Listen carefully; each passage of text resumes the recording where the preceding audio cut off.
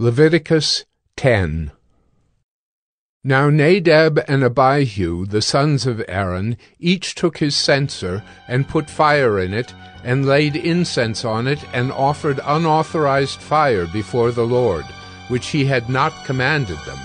And fire came out from before the Lord, and consumed them, and they died before the Lord.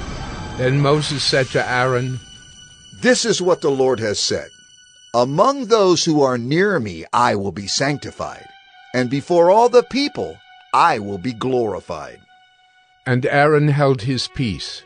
And Moses called Mishael and Elzaphan, the sons of Uzziel, the uncle of Aaron, and said to them, Come near.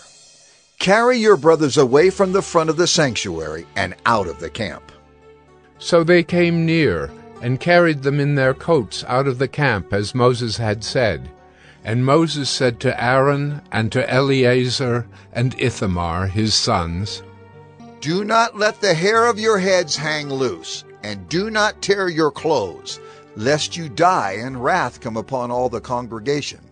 But let your brothers, the whole house of Israel, bewail the burning that the Lord has kindled, and do not go outside the entrance of the tent of meeting, lest you die, for the anointing oil of the Lord is upon you. And they did according to the word of Moses.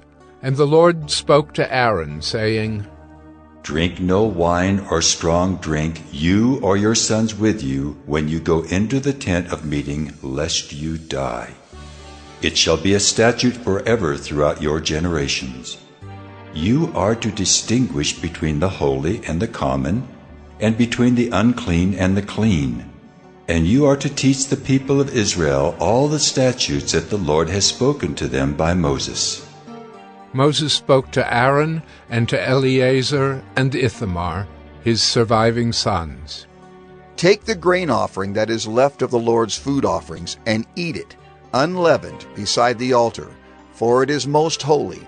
You shall eat it in a holy place, because it is your due, and your sons' due, from the Lord's food offerings. For so I am commanded.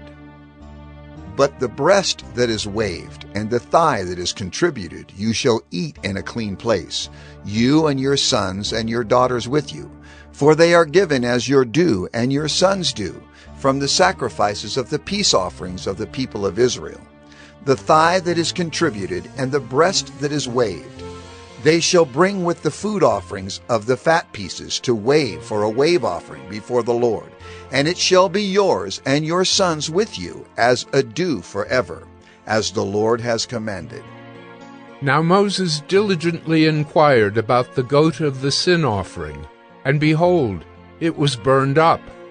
And he was angry with Eleazar and Ithamar, the surviving sons of Aaron, saying, Why have you not eaten the sin offering in the place of the sanctuary? Since it is a thing most holy, and has been given to you that you may bear the iniquity of the congregation, to make atonement for them before the Lord. Behold, its blood was not brought into the inner part of the sanctuary. You certainly ought to have eaten it in the sanctuary, as I commanded. And Aaron said to Moses, Behold, today they have offered their sin offering and their burnt offering before the Lord. And yet, such things as these have happened to me. If I had eaten the sin offering today, would the Lord have approved? And when Moses heard that, he approved.